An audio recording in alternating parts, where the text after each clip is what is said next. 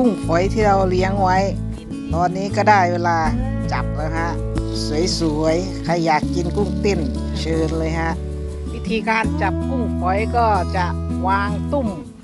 ดักกุ้งไว้นะคุณผู้ชม เราจะไม่ได้ลงไปช้อนนะฮะ เพราะว่าถ้าเราลงไปช้อนเนี่ยจะทำให้น้ำขุ่นเป็นตะกอนกุ้งก็จะหายใจลำบากฮะเพราะว่า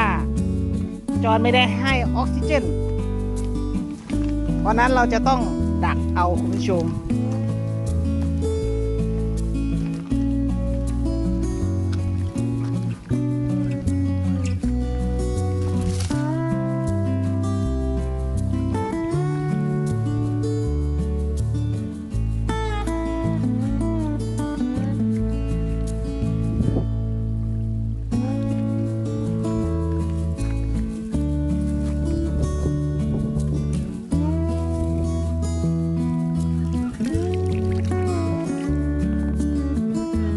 ดักได้ก็จะมาใส่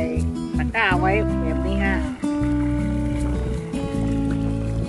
ตอนดักก็จะไม่ได้ถ่ายให้คุณผู้ชมดูนะฮะ เพราะว่าคนเดียวมันลำบากคุณผู้ชม นี่ฮะ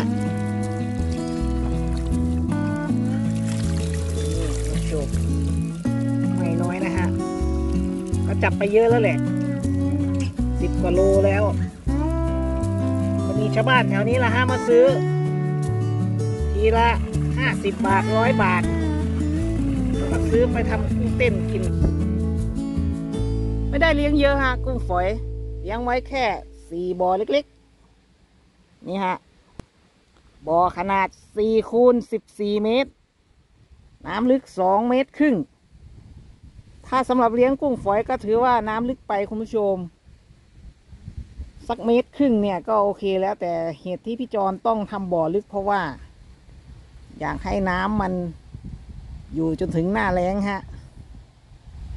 ก็ถือว่าพอกินคุณผู้ชม เหลือกินก็ได้ขาย มีได้ขายแหละ กินไม่หมดหรอก เดี๋ยวบ่อที่เลี้ยงปลาพี่จอนก็มีเอากุ้งฝอยไปใส่บ้างเหมือนกัน ใส่ไม่เยอะฮะ ใส่นิดเดียว แพร่พันธุ์ขยายได้ดีมากเลยฮะ ก็สามารถจับได้เช่นกัน เดี๋ยวปีหน้าพี่จอนก็จะใส่ทุกบ่อเลย ปลาจะไม่เลี้ยงแล้วฮะ